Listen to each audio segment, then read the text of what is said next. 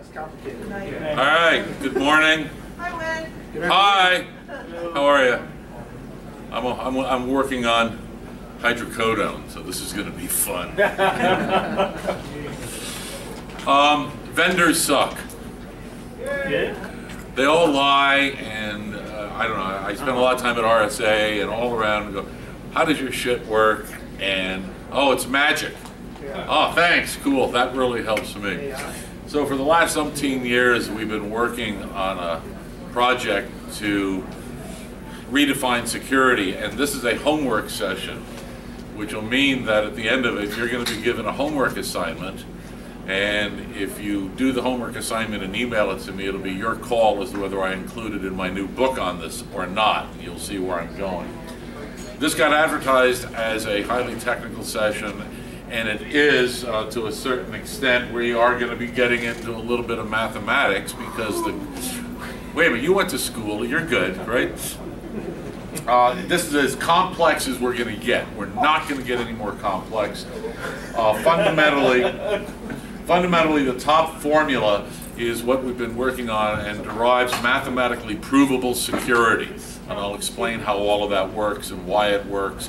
And it has been vetted. We've got full-time mathematicians working on it and a little history. Uh, on the lower left, those establish trust factor and relationships between objects and subjects inside of any uh, network. And when I use the word network, a network can be coding objects, it can be human objects, it can be network objects, it doesn't really matter. I'm going to be living in as an abstract a space as I possibly can. Can we take a picture of that? You can take a picture of anything you want at all. Uh, for anybody that wants the PDF after this, give me your business card and I will send you that. And then at the end, it will be a crass commercial plug for you to buy my new book when it comes out soon. So the basics are these. This is what I have really learned over the last several years of poking around and getting deeply into the problem of why vendors are lying to us. And they are getting lying to us because they don't know any better and they care about quarterly profits and they really don't give a shit about the performance of the technology, in my humble opinion. Um, everything you're going to see here is going to look like I might be introducing a product and a company. I sold my company. I am not building another company uh, at all. I have no desire to productize any of what you're going to be seeing at all. I'd rather help the industry move along uh, and get to the next step. The premise, uh, the security models that we're using today in the real world are 45 years old based upon asymmetric communications developed by Anderson back in 72 when uh, ARPA at that point, prior to DARPA, was trying to figure out how do we secure things. And some of you may remember mandatory access control, discretionary access control, A, B, C, D. And at the A level, there was mathematical formalism to be able to prove whether something was secure or not. We have not been able to do that uh, since uh, symmetric communications came along uh, notwithstanding any of the work by Shannon that was attempted to be thrown into this. So the goal here is we know shit ain't working, we need another thing to do. Uh, we tend to think that the world is binary, and it is really not binary. When we look at the fundamental error, perhaps the most, and I'm not sure I, am going to swear to that it's the most, but one of the most important failures that we have done over the last 40 years is, is we've accepted the concept of infinity in security. And that means, uh, let's see, how long does it take to detect a uh, one of these APTs? What is it, nine months? 12 months? How, how long has it been? It's 343 days was on one attack. And we're looking at these major attacks and we don't hear about them for a long time. The reason we don't hear from them a long time is because none of the current approaches to security are using an upper and lower time boundary conditions. They allow infinity to exist. And as long as you allow infinity to exist in any of your security applications, you're gonna fail, period, end of story, and we're gonna show you the math behind this to be able to prove it. So the thing that we need to do is start completely rethinking how we're viewing security. And again, these are object-subject relationships. You can look at them as a database relationship, but I tend to put that into another category. and I don't have time to get into that, but subject-object relationships at the coding level all the way up to the inter-networking net level, how are they communicating with each other, and how are we measuring that level of communication that's occurring, which then vis-a-vis says, how are we measuring the performance of vendor products that are claiming to provide security? And right now, we don't really have a very good way about doing it. However, one of the reasons is we're eliminating and have forgotten that the fundamental metric, the common metric between risk, privacy, and security has been ignored, and it's time. We do not use the time domain inside of any of our networking calculations, and I have sat with vendors at all the major shows, and as soon as I start talking this stuff, even the engineers start glazing over, and some of them will say, oh, we use a neural net, everything's good. No, no. Oh, no, it's instantaneous. No, there is no such thing as instantaneity. We do it in real time. No, you don't. That's impossible. So the lies that are coming out of the vendors are prohibiting us from even having a benchmark on how bad or how good things may be. So part of the homework of this is going to be towards the end for I'm going to give you the techniques to actually measure quantitatively the performance of vendor networks, vendor products, and I want you to get back to me with the results because we're only beginning this end of the project that is now going to be probably hosed, uh, housed, housed over in The Hague at, uh, at, a, at a, uh, place called the Security Delta, which is a non-political international affiliation between business, government, and academia that doesn't have any of the traditional kind of DARPA bullshit and everything else. that we want to do with the whole project over in Europe. We've been working with Fortress Mentality, which is the fundamental basis of the reference monitor and Anderson's work, which is great when you're in an asymmetrical communications environment. However, when you get into a symmetrical communications environment, the rules completely change. And they change to the point that they become almost unbelievably hard in order to do calculations.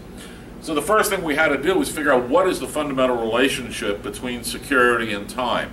And the top formula there is the one that began it all back with a book I wrote called Time-Based Security in 98.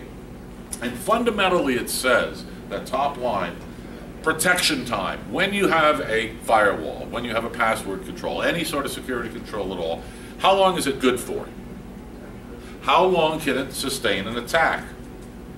Regardless of whether the attack is exploiting a hole in the product or the service, or is it just good for that long as we might have with uh, password uh, cracking and we're just doing brute force. How long does it take to do a brute force? We know how long that takes roughly.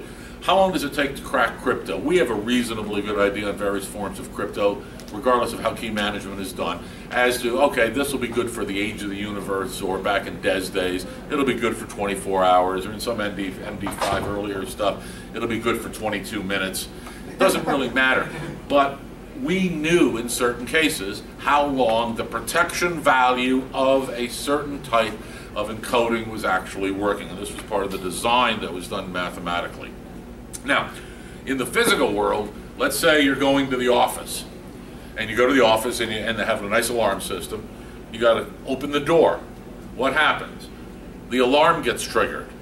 And then you have 20 seconds, 30 seconds, some number of time to run over to the closet, open it up, and punch in the appropriate code so the goofy guys with guns don't show up at the door or call you or what have you. That is defined as protection time. And the reason we can say that in the physical world is because we have two other components that we can measure. The detection time. How long does it take that alarm system to detect that I've opened the door? Well, I don't know, 10 milliseconds, two seconds, I don't know, there's some number that's going to exist. The second number is RT, reaction time.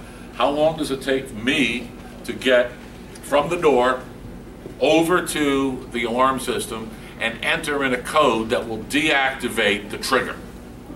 Those two sums are DT plus RT, detection time plus reaction time. And as long as they are less than the amount of time that I have in the protection circuit, I can then begin to say I have a provable amount of security for that specific example. However, in our world, PT, protection time, is indeterminate because there's no vendor on the face of the planet that'll say, we guarantee our firewall will never be penetrated for three years. Any vendors, any vendor promises, does anybody know of any vendors that will guarantee the amount of efficacy of their protective product? No, because they're not looking at the time domain, they're looking at your wallet. So we have to declare then that PT is indeterminate in this particular case, sort of like divided by zero, and we end up with ET, exposure time, which says fundamentally, if I have no firewall, no protective circuit, protective circuit around a particular object that I'm trying to secure, the only security element that I actually have would be a proper detection reaction mechanism based upon the behavior of an external force upon the subject-object relationship. There is no other security necessary, and that gives us ET, which says that's my exposure time. That's the worst it could possibly be, which is creating what I call the upper time boundary of the circuit in this particular case, or of my protection, and I'm using protection in this case meaning ET, the exposure time, that'll be upper bounded by detection and reaction time. Everybody with this so far? Am I losing you? Are we good? All right. So the goal, of course, is really simple. We want DT and RT to approach zero, and that was that limit function you saw earlier. Simple calculus 101. I want DT and RT to approach zero, and that's a limit that will never be reached because zero time, and I'm not going to go into quantum physics here at all. And that is the goal. Second thing that you have to keep in mind, especially when you're talking to your data people, look at the bottom formula. BW divided by IDBI equals 1 divided by the exposure time. And that has to do with the size of the database. In this case, we'll talk about an exfiltration perhaps that the combination of the bandwidth of the circuits under analysis versus the exposure time tells us how much data could potentially be exfiltrated, assuming I did not have a decent detection reaction system in place, regardless of whether I had any protection, traditional vendor protection devices in at all. Are we good? Everybody good? Nodding, keeping notes, flashing pictures? Can you say that one more time? BW and IDBI?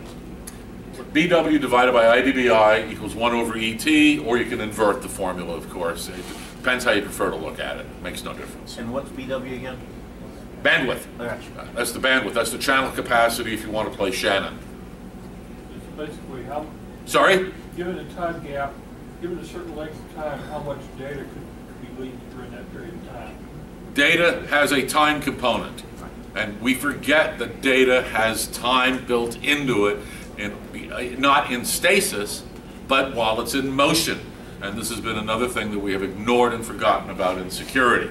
Data has a time mechanism. Yes, sir. You got to shout it out because I'm deaf. What is IDDI? That is the size of an entire database under, con- under consideration. So, what we start talking about is the concept of feedback. Right now, everything that we do tends, I'm not going to say everything, the majority of what we do tends to be highly linear processing when it comes to produ- production products, vendor products, network analysis, because everybody wants it to be done faster, faster, faster, faster, faster, and there are fundamental mathematical limits of how fa- fast things can actually occur if you want to have any security whatsoever. If you go outside those boundaries, which I'll show you how to do, then your security will by definition fail, and we've applied this to existing networks regardless of what technology they've got, and every single one of them architecturally fails and will not never be able to be secure. So when we look at how the SCADA ICS world, anybody familiar with that? A little bit? All right, a little bit. When we did, um, hypothetically, the US and Israel did the Stuxnet attack on the Iranian centrifuges, hypothetically. I don't care, I'm not doing politics here, I'm doing math. The attack was very simple. A centrifuge has a lower time limit and an upper bounded time limit based upon the mechanical constraints of the device itself. What happens if you remove the upper time limit boundary of it and let it approach infinity? What happens? What? It burns up. It burns up. It blows up. This is ICS SCADA 101.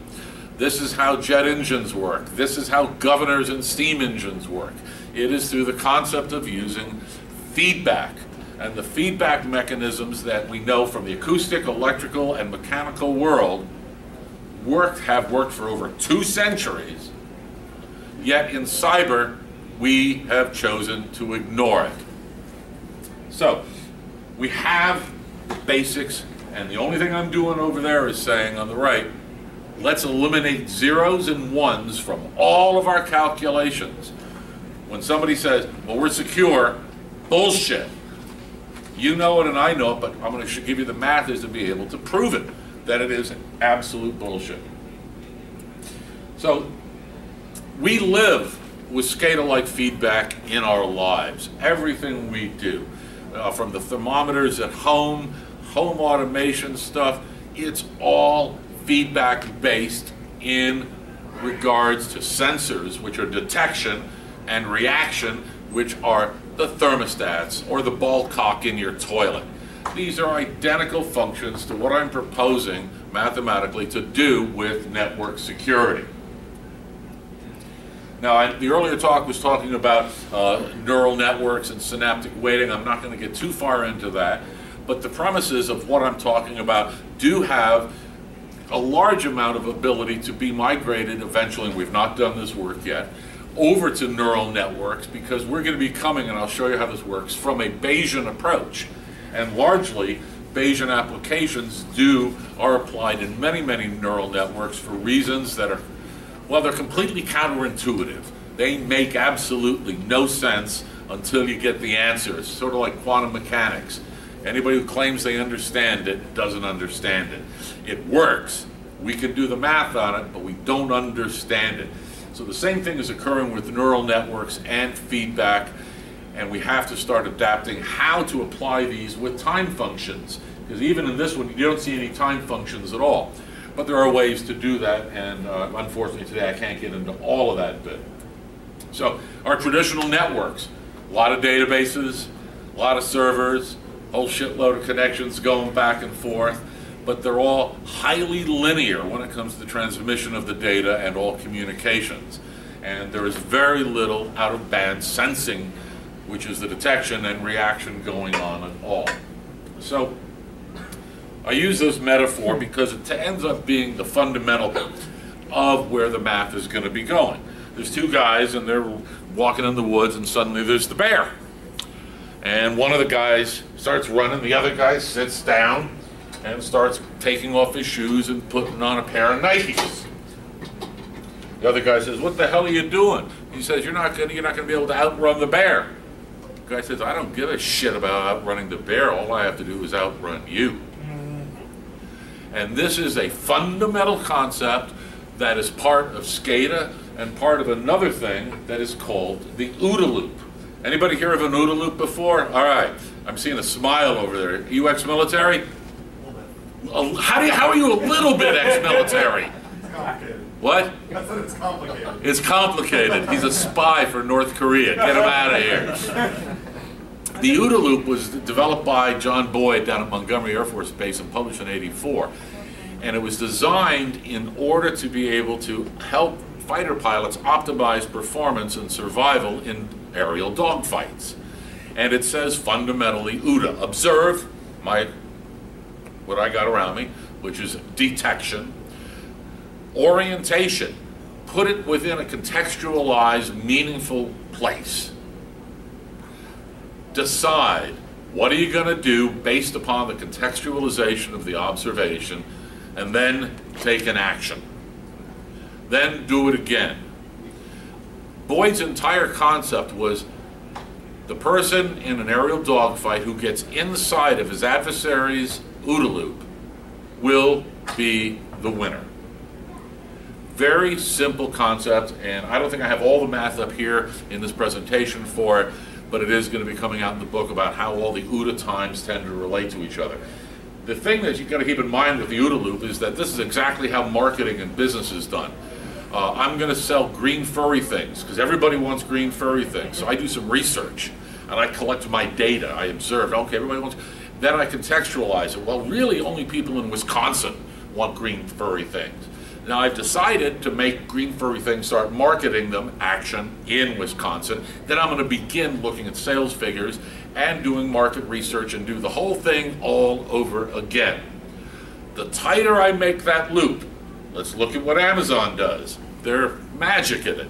They have perfected the OODA loop, especially with their robot. You guys have all seen the robotic systems that they use up there for, and they put all the shit on the shelves completely randomized. It's not a stack of books and a stack of uh, computers. They're random all over the place because they've optimized the OODA loop through the contextualization in the observation form of their own OODA loop in order to get that stuff into a cardboard box and out the door as fast as possible. Everybody with me on OODA loops? I know I'm moving fast. All right. Again, do we do any of this? We've done it in the physical world, we've not done it in the cyber world. And depending upon the complexity, you can you can play a lot of games, a lot of schematic games of how you want it to work. And what you're observing here is perhaps a little reminiscent of what you saw three slides ago, which was a neural network. There's a lot of weighting going on, but it always goes back to observations and contextualization. Otherwise, there is very little meaning in, in the data that is being collected. So in the, in the real world, one of the greatest applications of OODA loops right now, have you guys ever seen like the 60 Minutes things of that poor lady who was a complete quadriplegic and now she can actually do things in the physical world with the brain implant. That is, right now, neural implants are allowing OODA loops to operate at megacycles in order to give her machine and her body and her brain to be able to train each other vis-a-vis -vis what we were talking, the guy was talking earlier with neural networks by using these kind of feedback loops. Where are we doing this in information security, and why does information security still suck? Because the vendors suck. Any vendors in the room? Am I insulting anybody? Wait, that was a half a hand. I don't really do the vendoring, but some of we have. Yeah, but your hand is still up. All right, so so you you and the half military complicated guy can talk. It's complicated. Now there are a couple cases that uh, it actually works, and this is one that's using an out-of-band circuit and I can't get into all the out-of-band re reasons for things happening, but in this case, this is actually how my bank works. And uh, I want to do something, and if I've not done it in a while, or I have my notifications and security set right, I want to move some money from one account to another, everything stops, which is the first step of the traditional Anderson reference model from 72. Then it goes over and uses an out-of-band communication channel, which Reference Monitor doesn't because they didn't need it in the asymmetric communication model. And it says, hey, when uh, on a phone that has already a proven identity from earlier trust that was established, says, did you really mean, is this really you from your mobile or your laptop or wherever? Yeah, it's really me, please do it, and then it goes ahead. So they're taking the reference monitor concept of a halt process, invoking an out-of-band process, but they're also invoking a time domain in there because that is good for what, five minutes, 10 minutes, depending upon the policy that is set by, in this case, it's Bank of America. They do, they do the best security of any bank that I've seen thus far, at least in the U.S. And so this actually works very, very well using a time-based verification mechanism in the feedback loop. Okay? Got everybody? Any questions before I start getting it, making it harder? Okay. now this is how my wife's car works. And this is maybe because we're a little older. In the old days, and that was like a year ago, when you want to make a turn, you do this, you do that, and if you're really a paranoid old fart like me, you may do it twice because some jerk's going to be coming at 120 down the road. Mm-hmm. My wife's got one of those newfangled cars that's got collision avoidance. Get it. Collision avoidance is says there's a car, there's a car, so you put on your on, on, your blinker and it says, whoa, whoa, beep, beep. And then that forces you, in theory, hopefully, to look. Is that a Volkswagen or is it a semi? I don't know. But if you don't get a notification, does that mean you should automatically change lanes? Are you putting 100% of your faith into a detection system that your particular Ford or Lexus or whatever it has? My argument and my wife's argument is, because we grew up in the old school, no let's verify what the CA is saying. Look thing, beep, ah, huh, huh. Now, if I waited 30 seconds for that, I'm going to be out of time bounds of validity of the verification due to the way the speed, the time it takes another vehicle to move perhaps within the CA system. Everybody got that? This is all about time. How long should that secondary verification take? And that's what's occurring in the decision time. In the feedback loop here, before an AND gate, and I will not change lanes until I have an affirmative in at least two ways on a single decision.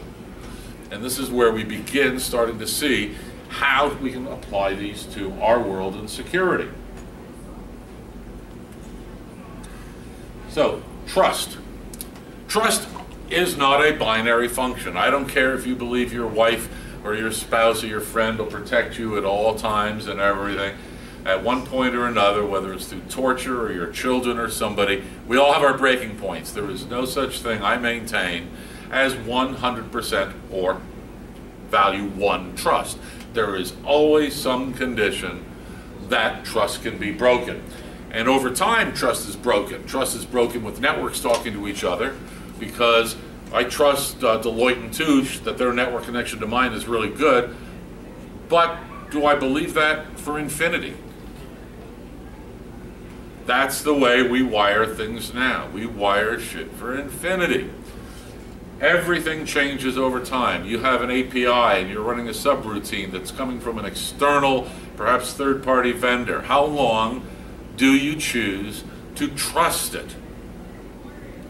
These questions are unanswered in our field. So let's take, uh, in this case, the human issue. Somebody trying to get hired at a job, and in order to establish and make them a trusted employee, which is a misnomer in my, in, in my opinion in many cases, what criteria are you caring about? So I carry the data over from the OODA loop, O, I put it, contextualize it with the things that I care about.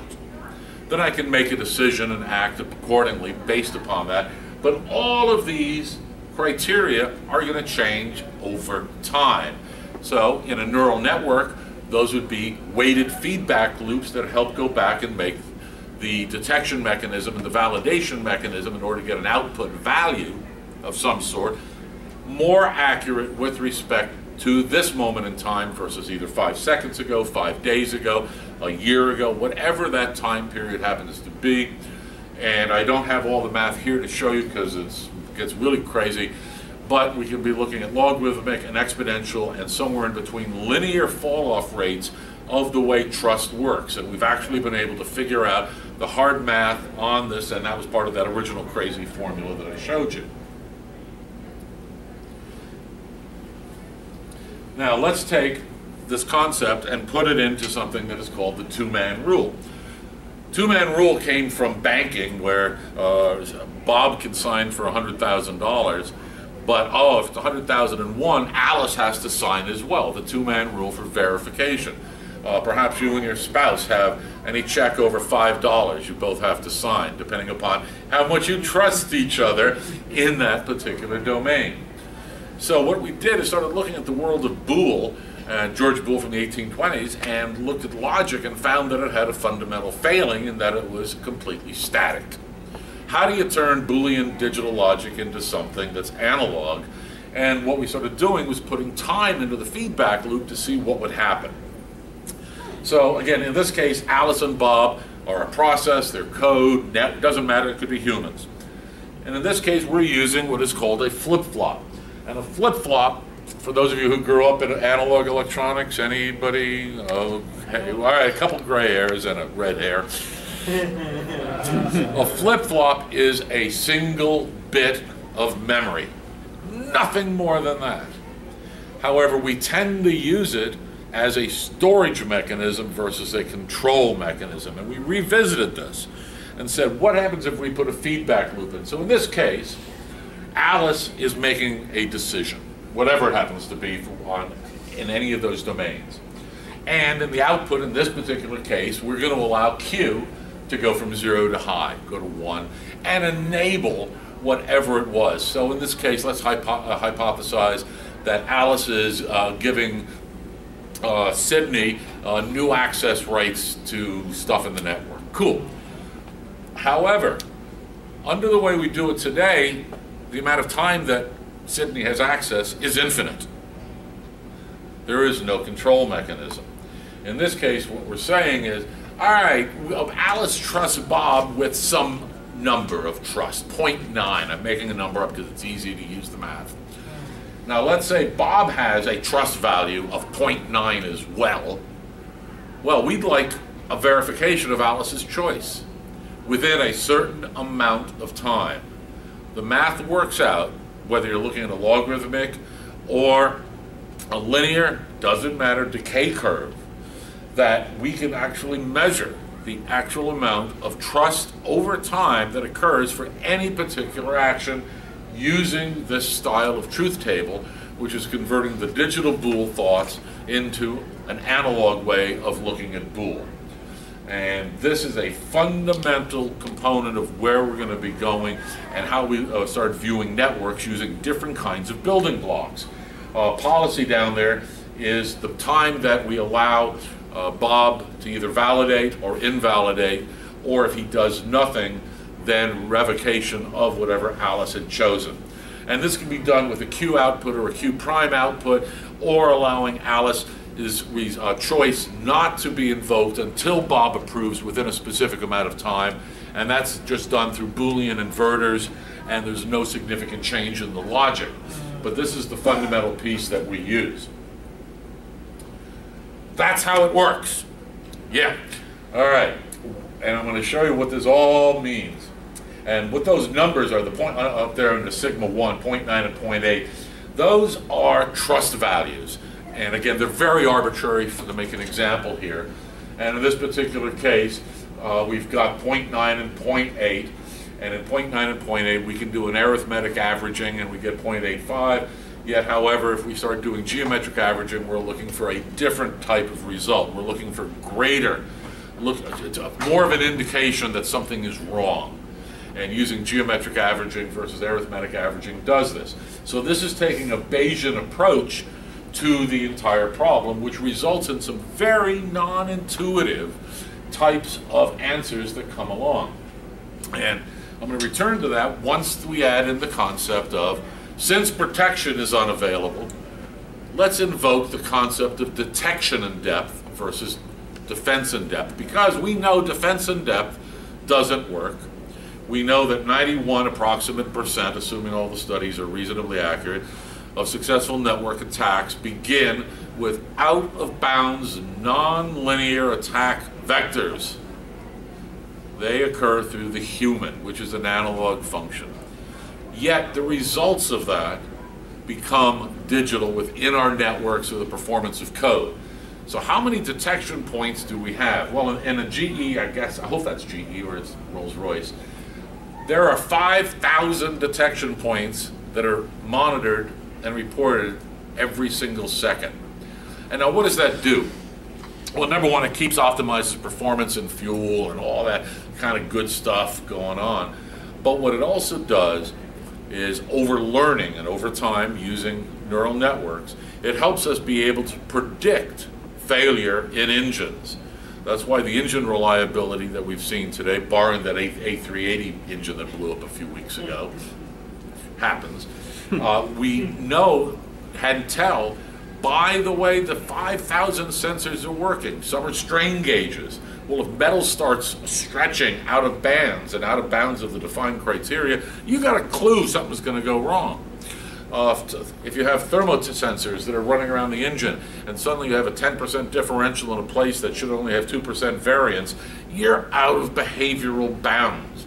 And those behavioral bounds are determined by the engineering and design of the engine, which is nothing more than a mechanical network of components glued together in order to have an output, and that output is moved 50 tons through the air. So I've been looking at detection in depth as an answer to be able to apply some of this math to. And now this is where you guys are going to start coming in. When we look at detection circuits in the real world, uh, it's uh, at any kind, I don't care if, if, if it's antivirus, anti-malware, phishing detection. Makes no difference. How many of you have numbers from the vendor to say how long it will take that detection to occur with what level of efficacy? What's the confidence factor? Where's the mathematical proof? Now, you may hear, has anybody heard the term Six Sigma? All right. A lot of these vendors will say, well, we got Six Sigma performance. Well, let me run a number by it. Am I am I allowed to go over here? You can do whatever you want. I can do whatever I want. I'm going to break this table. Take a company of 10,000 people. Um, we're going to say that there are 10,000 emails that come into that company every day, making up something, one per person, right? So what is that? That's 10 to the eighth emails. That's two orders of magnitude greater than Six Sigma performance by definition. So when vendors start telling you about Six Sigma performance, fuck them. It's meaningless when you are looking at the aggregate total in the OODA loop of the contextualization of the data across the entire problem. It changes your view completely when you start looking at the entire operation of a particular network or a piece of a network and starts throwing simple math at it. So in order to test any product, any of your IDSs, IPSs, AV, I don't care, this is your homework assignment. We all know what good traffic is, X. So, on your test bed, just build an engine or get a vendor product and put it through, something's coming in, something's coming out, and make sure it's all good traffic. You can measure the input and the output and do a time vector on it, and that tells us what? The propagation delay of that particular circuit in that particular hardware environment and with the external BW versus IDBI input and output are. The numbers are there. How often have we ever measured? Has anybody ever measured this? Why not? You're from the military. Because the military is really slow. I, I can, I can attest that. So we don't even know what the propagation delay is, given certain hardware specifications, even when they're talking about four core, 3.8 gigahertz boost power when there's a solar flare. I don't know what any of that shit means, but that's the way the vendors are talking. Now, so we have the propagation delay, and it really doesn't matter what it is right now, but it's another measurement that you can't take. Now take a piece of known bad something, AV, IDS behavior, traffic, anything in the stack. Throw it into the mix, and you know that that black box should detect it. When you throw it into that mix, begin a clock. When the box detects it, hopefully it detects it, stop the clock. It's that simple.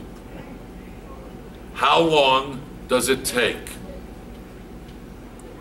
Everybody with me here? It's that simple. Throw in known bad traffic at the input. Begin a clock that'll start counting from zero. When it detects it, stop the clock, and you're going to have an answer that the vendor is not going to like because we have already shown, not in really great laboratory conditions yet, two orders of magnitude difference in the performance of various vendors' products. 100 times better and or worse, depending upon how you're looking at it, of the performance of detection products in the network. I saw a hand over there. Yeah, I, I worked for a company that did a, did a uh, inline IDS once, and it- it took more time for the good traffic to go through than the bad, because they had to go through all the same. Again, uh, I, I- you know. I get the numbers, but I, I, No, I- know what you're saying. Yeah, it's, it. and the limit function down in the lower left is simple Calc 101 or trig or algebra, whatever we all learned it. There is no magic here, and we can end up with a trust factor at the end of it based upon the data, which is back to BW versus IDBI, and we have more numbers. So this is the contextualization of the numbers with a single detection point. The GE engine does this at least 5,000 places every second. Networks, we suck. We're really, really bad. I have two questions. One, Yeah. do we need to measure, like, kind of what he was getting at, I think, uh, the, do we get the, do we get any false positives, basically is what. Um, unfortunately, I don't have eight hours to go through all that, um, or the curves, but there is, a- do you know what a ROC curve is? Uh, I know, A ROC curve is um, an XY matrix that basically has a set of data point samples uh, that are called good and bad, and then there's a, just assume a linear line at 45 degrees. And anything above the line is good, anything below the line is bad. And depending upon if you're using Poisson distribution or Gaussian distribution, or using natural distribution, you will start finding that the false positives, see, I gotta remember the formula here, this is statistics 101. Uh, the fa- true po- false positives plus true negatives equals the total number. And you can also invert that with false, with false, with uh, true positives and false negatives. And it'll give you the sum, I'll give you a mathematical example of this. Uh, let's say I've got a thousand uh, samples going in and I get an output that says 11 of them are bad, but only one really is. What's the performance efficacy of my detection mechanism? The answer is 0.9%. So unless you're looking at false positives and false negatives and doing a Poisson or Gaussian distribution over the answers and applying some of the Bayesian stuff, you're going to get the wrong answers. So when a vendor tells you, well, we're 99.9% uh, effective, so that means 0.1% of the time. Yeah, that's it, only 0.1%. Well, do the damn math. That's one out of a thousand. So if you have one out of a thousand that is basically an unknown that requires additional verification to turn, determine whether it's a false positive or a true positive, what does that mean to the performance of that particular box? It's for shit. And that's what we're dealing with these Well, I'd rather hear that than I don't have any false positives, because that just means that they don't work. Bullshit. To you. No, that's, no, There- there- there is no way. Right. Yeah, I mean, um, if this is like so easy, then why don't companies? why didn't somebody else invent the wheel first? I don't know. I'm, te- I'm telling you, my research, I'm not, I'm not defending it or any, I, I have, we have seen no other work like this. We've shown it to the NSA, we've shown it to GCHQ, we've run it through the neural guys at Stanford, and the math works. Uh, why nobody else is doing it, I don't know. Uh, is somebody else maybe got bits of this in some of their engines? Maybe. I don't know. Well, how many security products are there? 3,000. I don't know one. I don't know any of them. I'm a theoretician. I don't give a shit. But I do care about how do we measure what's out there. And you guys can do this right now at home, and I'll, I'll give you the playbook on how to do it. Now, here's something that's really interesting. Let's just add one more tool here and say we're gonna we got our clean traffic out and we got another black box down there that we want to do the verification with. Is that a good thing or a bad thing? It is. It's a good thing. All right. I'm going to hold you to that. So you both we have two votes. It's a good thing. I don't know. I don't know is a really good answer for somebody in this class. And we're going to keep in mind that PT protection always has to be greater in time than DT plus RT, and that's why ET is our limit formula. Don't forget, limits are going to be at zero and at one. You're never, ever going to hit perfection. And any vendor that tells you that, they don't need both kneecaps for long. Now, one of the approaches to doing something like this, is an example, wouldn't it be great to get rid of phishing? All right, so what we got is user clicks on stupid shit. And, and right now, right now, he- the user goes off uh, at Geek clicks and something happens, and over on the side, there's a phishing detection mechanism that'll go, oh shit, you really should not have done that. What we're arguing is no. What I want to know first is the following. Here is my fishing box. Here's my fishing, no, here is my fishing box. I want to know from the vendor with known samples, how long does it take to detect it and react to it? And the reaction is, oh shit, this is bad. There is a amount of time that your guys are going to measure on all that stuff and send me the numbers. How do I solve the problem so phishing no longer becomes cru- important? Over on the right, I've introduced the delay line. What is the value of that delay? Anybody, if you've been paying attention, you know the answer. The check time? What? The check time? Nope. What is the value of that delay line? Less than protect time? Less than protect time, but we don't know what the protect time is, do we? Detect time plus react time. Greater than detection time plus reaction time. Has to be, if it equals it, you, you can have error. My delay line has to be the sum of detection and reaction time plus some nominal amount of time after that.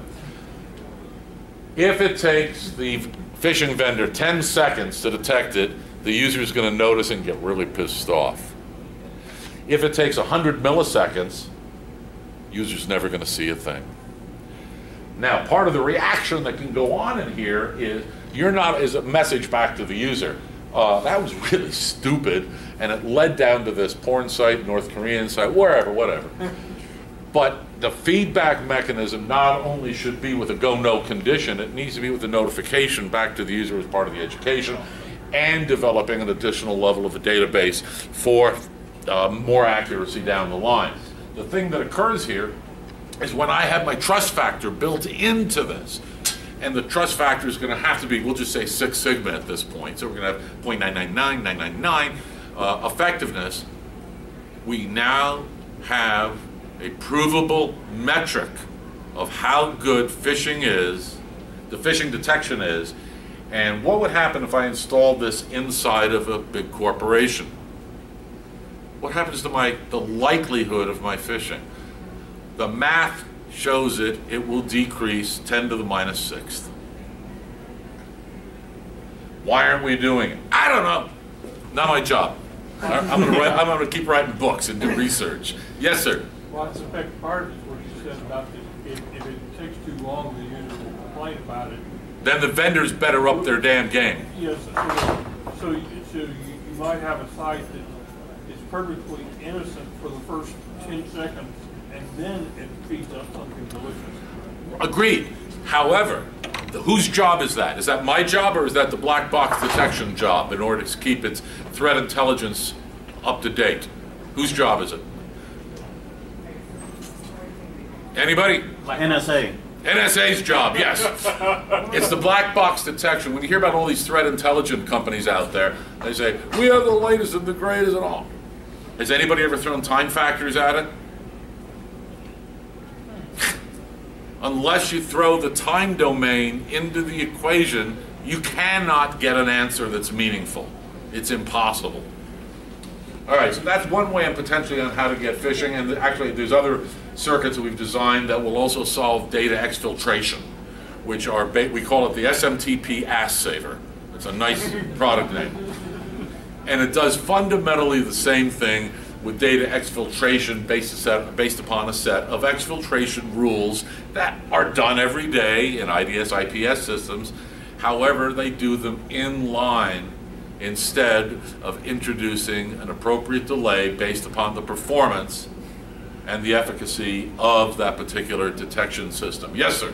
One, one company I used to work for, anytime you sent a mail, that, there was a, there was one minute delay before it actually went out, and if you time you said, oops, I shouldn't have said that, cancel it, cancel it before it actually went. Yeah, I mean, I think Google, I think my Gmail, once in a while I see that, that it says, did you really mean to send this to all 7,000 people? No, I didn't, thanks. Uh, same principle. However, mathematically bounded by measurable performance of the detection equipment is what our industry has not been doing. So we can do the same thing with measuring uh, with two clocks. We can do the detection and reaction and parts them down to uh, higher levels of granularity, especially when you're trying to design architectures to make this all work. The term that I've been using is called squeezing the loop. And I want that loop to get smaller and smaller and smaller and smaller, and I'm on an XY time uh, uh, uh, axis, and I just want it small. And we have all the drawings and the math and shows what happens when they all fall out of bound. Now, two detection products. Here they are. A lot of people say, okay, I've got uh, a good AV product here uh, that I pay for from McAfee, and I got a free one over here that I get from wherever free stuff is. Is that a good thing or a bad thing? I heard two voices earlier, and I heard somebody honestly say, I have no fucking idea. I, I was, What? I was the one to say I have no. So, what do we have here? We have two black box detection mechanisms operating in parallel, electrically speaking.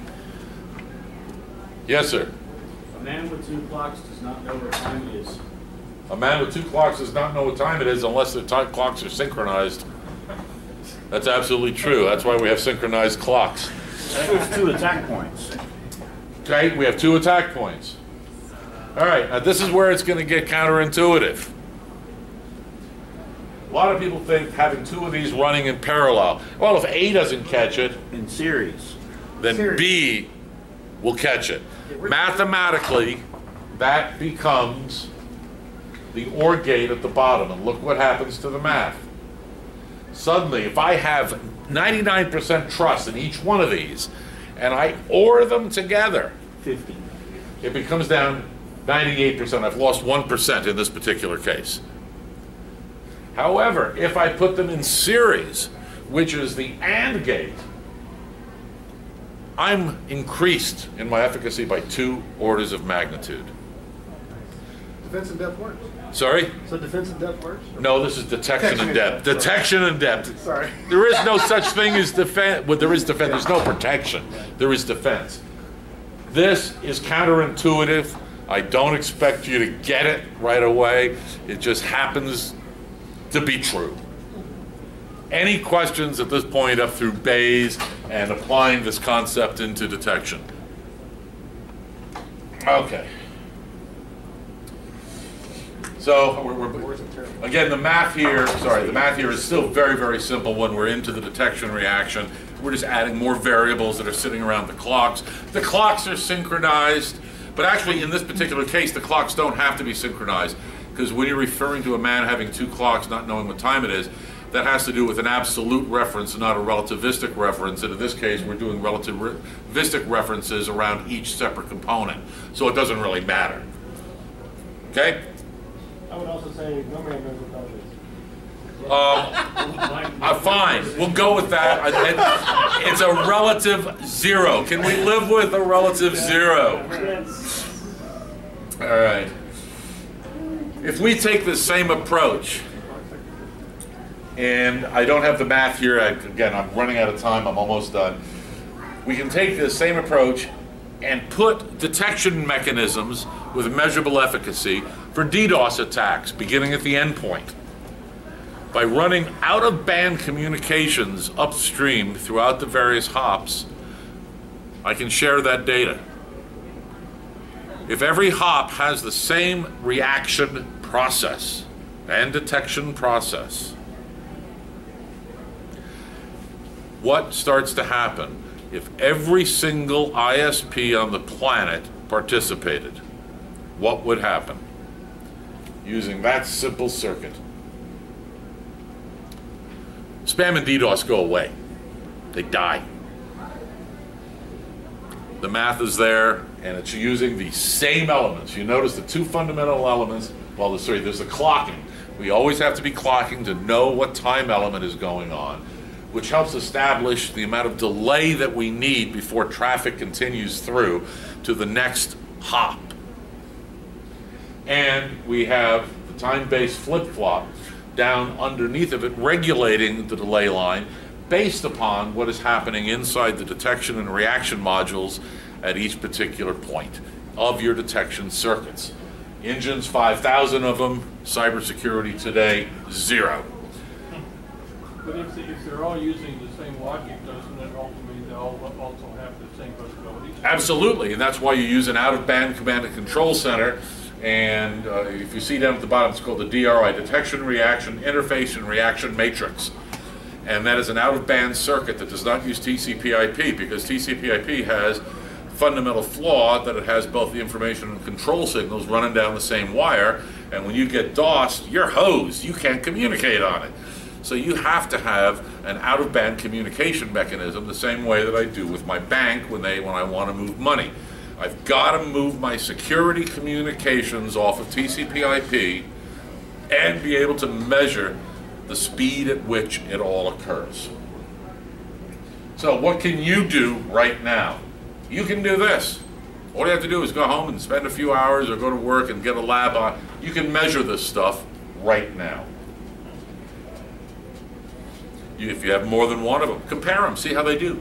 Put a McAfee versus a Symantec up next to each other on known AV samples. I'd love to know the answers because we don't. This is this work and the formula is literally seven days old. That's how recent it is, and we're finishing up and getting ready to publish. Let's see if we can get any data out of vendors. This will be a fun RSA for me coming up next year, especially once we have a few numbers. And you have spoken to them, right? They usually can't even answer the basic questions. Yeah, they can. The, the answer is, would you like a WebEx next Tuesday with that hamburger? So, your homework is going to be design a test bed, pick one of these things, pick one, and do these things. Find the limits and let us know the answers. We have not gone to formal test bed yet. We are trying to set up, as I mentioned, a lab over in Holland to be able to do this uh, with no political or uh, academic or vendor influence whatsoever. We want complete independence. And I'm giving you guys the first shot at, if you can do it, let us know what you find. Compare something and give us some data. Yes, sir. If we do this and you use it, can we get a free copy of the book? Yes. Okay. Yeah, absolutely. I'll even sign it for only a hundred bucks. Yeah, if you, if you bring me, bring us data, and yes, abs, if you bring us a good example, and spec out the hardware, spec out the, I mean, proper engineering specifications, because this is not a computer science problem. This is an engineering 101 problem. That's all that it is, and we have chosen to ignore it. There's the cover of the book. It's really a very pretty book. Very, very pretty. It's hugely pretty. Huge. Um, we're back to my axioms, and then the book's coming out. Uh, we are doing the vetting and all of that. The math has been solidified and been approved by PhDs around the world. We honestly believe we do now have a mathematical model to do provable security and we will be, uh, this is the first time the formulas have ever been shown, and I'll be around, I know the next speakers want to get going, and I will be around for a little while if anybody wants to talk to me or try to call me out on my bullshit. Doesn't the, doesn't the NSA hate competition? Oh, thank you. Sorry? The NSA hates competition, don't they? Uh, the NSA, uh, we've actually had a series of engineers uh, and computer scientists uh, go through to validate the math. And that's been done. I, I just got a text from one the other night, says, you've really pissed us off.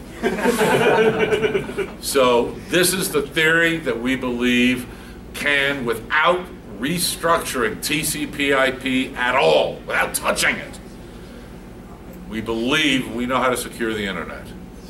And any help that you guys can bring to the party with examples and testing, free copies of the book is the best I can do. But thank you for your time, and I'll be around for a little while. And do please call me out on my bullshit. I'm looking forward to it. Thank you.